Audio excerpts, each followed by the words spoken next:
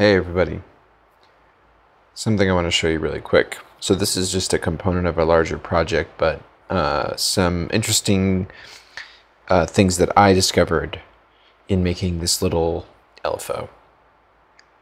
So this LFO is specifically for some jitter components that I have in this patch. And I wanted to be able to basically drive the LFO's rate with a frequency uh, but we need the uh, the rendering, I guess you could say, of the LFO to be driven by the same uh, metro that's driving my jitter rendering. Um, and I have that going to this sv.jr send and receive. And if I use a jit.fps GUI, you can see that it's at 30 FPS. So I have this elsewhere in my patch. And um, this is, so the kind of update rate of this LFO is synced with this render bang.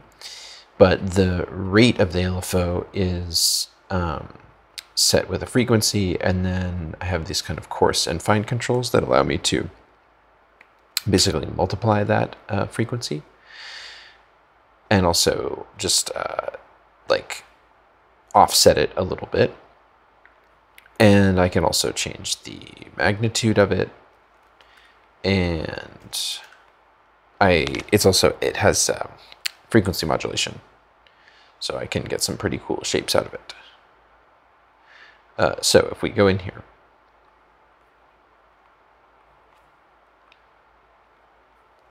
So um, the main patch is actually borrowed initially from Go, generating sound and organizing time book, uh, and I adapted it.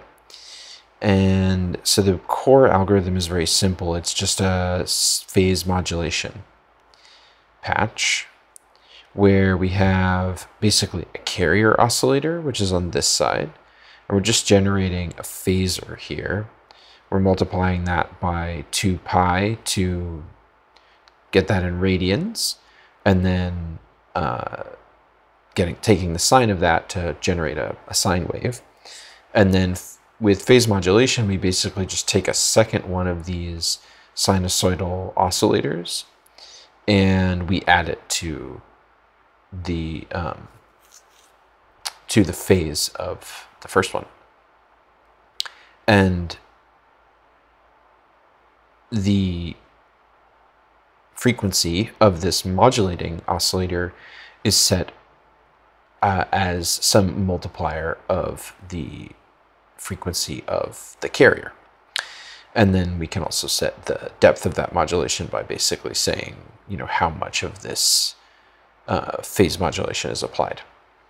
So uh, this is basically just a drop-in copy of the of any kind of normal signal based FM synthesis or phase modulation synthesis algorithm.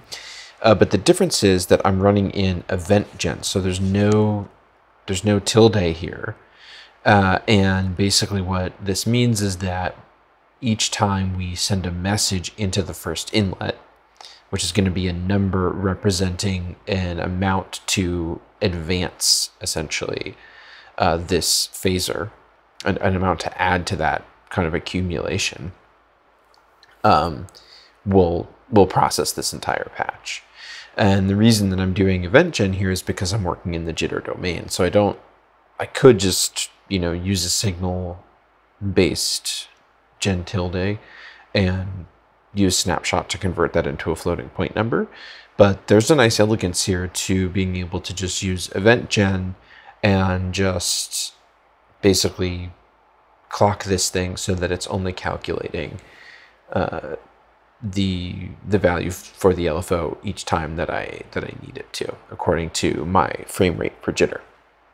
So the way in which this patch is different from a typical um, signal rate one is that in the signal rate one, I could just have a phasor and specify what the frequency is because um, the computer's sample rate is in charge of basically, you know, executing this patch 44,100 times a second or whatever. But instead, I'm only executing this about 30 times a second because that's what my jitter frame rate is. Uh, and this patch doesn't know what that quote unquote sample rate or frame rate is.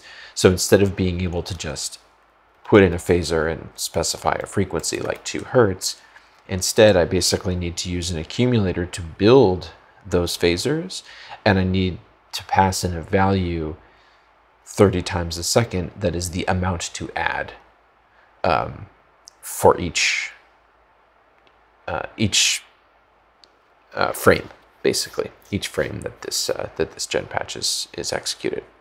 So the way that we get that increment is by basically taking a the frequency which we get here, and then that can also be modulated with this coarse and fine control uh, and multiplying that by our our FPS, basically the the frames per second. Um, and that is just simple math here to get the, uh, frames per second. And um, so it's basically because the free we can think of the frequency as being the number of cycles per second, right? Of course, of the of the waveform. And so then if we divide that by the number of frames per second, then we can get the amount of change in the phase for each, each frame. So that's what's happening here. And we basically have a bunch of parameters that are responsible for kind of that process. So we can get the, the jitter render bang two ways. We can either just have it be passed straight in to the inlet, or if you specify uh, the name of a send and receive pathway with this clock source message, then you can uh, then you can get it that way. So in this particular case, I've basically just specified this sv.jr as the as the name of that send and receive pair, and so I automatically get the um, the bang inside the abstraction here. Uh, and then over here, we have the frequency, which is being multiplied by um, the this kind of modulation value, which is uh, the coarse is on the range of negative like 10 to 10 and we just uh, raise 2 to the power of that number so that we can uh, get like 0 is 1, 2, 1 is 2, negative 1 is 0.5. So basically for every integer change in that coarse value, we're getting a doubling or a halving of the frequency, which is a really good way to modulate uh, frequencies, particularly when you're interested in using them in a kind of any sort of rhythmic application. Uh, and then there's this fine control that's just on the, um, just uh, basically allowing us to kind of offset that frequency a very small amount. If uh, there are cases where we want to push like perhaps two frequencies just barely out of sync with one another so that they uh, they shift in phase relative to one another.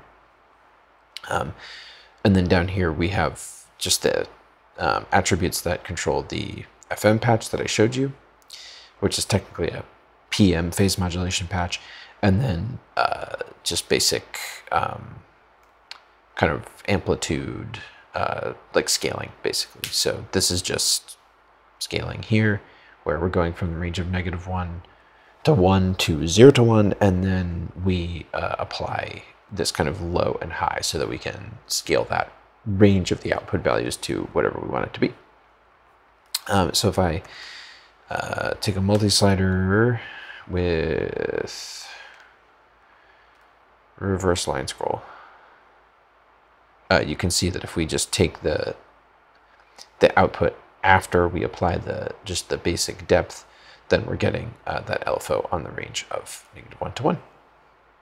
So pretty like pretty nice. I kind of where I learned things here, where particularly in this this area of like, if I wanted to have a gen patch that ran in the event domain, uh, but still used a frequency, uh, as a parameter, then I would need to compute this kind of per sample offset, and I wouldn't be able to uh, like use a typical gen oscillator inside my patch. Instead, I was going to have to uh, just use my own accumulators and then I can get any oscillation that I want from that, uh, which is, you know, how you would do uh, like certain types of wavetable oscillators and other things like that in in signal gen anyway for some reason I had to work my head around the idea that in the even if we're running at 30 fps we can still do things. We just have to we just can't use like a can't use a phasor basically. Um, and then the other thing that I wanted to mention about this patch just for anybody out there is the kind of like structure of the patch as far as using the route object to, and actually several of them, route pass and route objects, to kind of define the API, I guess you could say, the set of messages that this patch will respond to. And then also making it possible to set the these parameters uh, using patcher arguments, like we have um, here in the object box, uh, using this patcher args, patcher args uh, object. So this is a really good kind of general like architecture for abstractions where you use route to route um, messages at the inlet and then you kind of like manage all of your inputs through the route object. If the object is able, if the abstraction is able to accept signals, then you can use type route, uh, which will separate out the signals first. Um, and then you can use patcher args that's patched into that same route object uh, because you can basically treat those patcher arguments as though they were message into messages into the abstraction. And so then your abstraction is really working like it's a max object as much as it possibly can.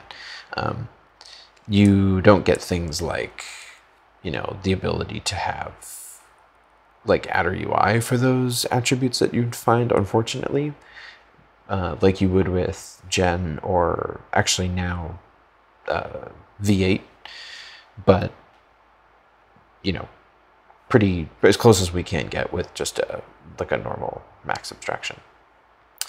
Anyway, so that's all I have to say about that. Thanks, and I'll see you next time. Bye.